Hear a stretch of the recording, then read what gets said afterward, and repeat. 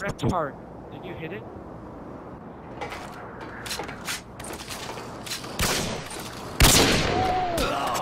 Oh, sexy.